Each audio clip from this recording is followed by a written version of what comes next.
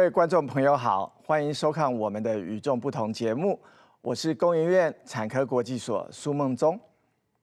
自从 AlphaGo 在二零一六年成功挑战世界棋王，我们看到 AI 逐渐呃进入到不同的面向，包含呃像我今天站在这里播报，好，也有可能就是被 AI 给取代。那我们看到几年前呃 AI 已经呃成功的撰写新闻，我们预期未来十年人工智慧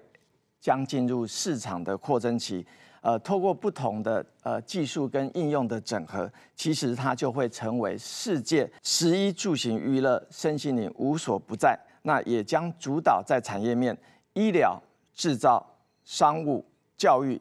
机器人。那我们像 Tesla 的自驾车，以及未来可期待的所谓 AI 进入到这一次 俄乌战争，呃，这是我们不愿见到的一面。但是它也影响了，比如说在无人机。哦，人脸辨识敌军这样子的应用。那反观台湾在这一波，我们过去引以自豪是在呃半导体哦，但是如何能够结合像 AI 这样未来的趋势，呃，从硬整合软，那也能够包含以人为本哈，然后跨域创新的本质来强调哈 AI 在这方面的呃布局哈。那我们目前其实从政府种种的呃推动方面，大概分为两个方向，一个就是在呃前瞻科技的研发，另外一方面就是希望说，呃我们有众多的年轻人，他在呃 AI 的创新，呃这样子的新创的公司如何能够加速孵化？比如说在第一个面向前瞻技术研发，科技部在推动的四个 AI 的创新研发中心。我们看到 AI 可以跟制造业去做结合，它可以把我们呃会花很多人工力气啊去呃提升这个呃制造的不良率哦，那透过 AI 基本上就是呃数十倍的呃提升。那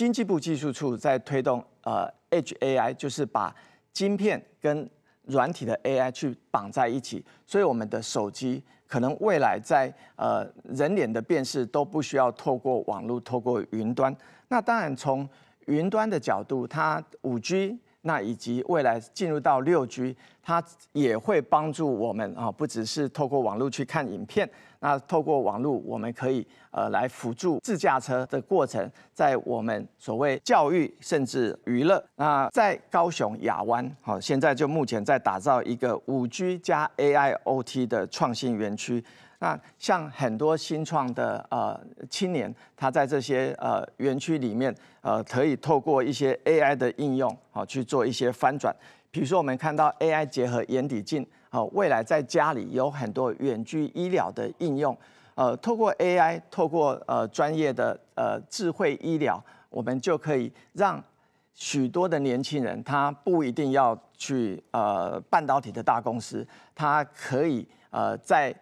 这些园区甚至是在呃家里就可以呃创业。哦，因此呃从最近的发展哈，在呃 AI 结合医疗有眼底镜啊的发展哈，在家里啊透过呃这个呃 AI 眼底镜，我们就可以呃去检视呃比如说糖尿病视网膜病变好，不需要到。呃，医院，然后把资料能够透过五 G 啊，能够上传。那另外在呃健康乐活，比如说这次呃 COVID 有很多是需要在家里去做运动的。那在这错过这个运动，如何能够结合呃远距，然后跟同号一起在 AR、VR，也就是所谓的元宇宙的世界里面啊，共同。在实体结合线上，呃，这个都是我们看到未来台湾可以在 AI 呃做更进一步的布局，也因此我们期待台湾在 AI 的未来产业的规划里面，呃，是结合硬体跟软体，那协助人类，而不是完全取代人类啊，我们有更大的盼望。以上是今天与众不同的内容，感谢收看，再会。